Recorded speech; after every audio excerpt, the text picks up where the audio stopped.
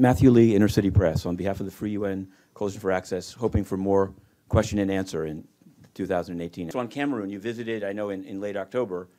Since then, some Anglophone leaders have been arrested in or abducted in Nigeria, where I know your deputy was. I wanted to know what the UN system is doing about this now cross-border problem. Thanks a lot. Well, as a matter of fact, in relation to that, we have done uh, several initiatives, and some of them even led to the release of people. But uh, and we'll go on engaging uh, uh, with uh, all the states involved.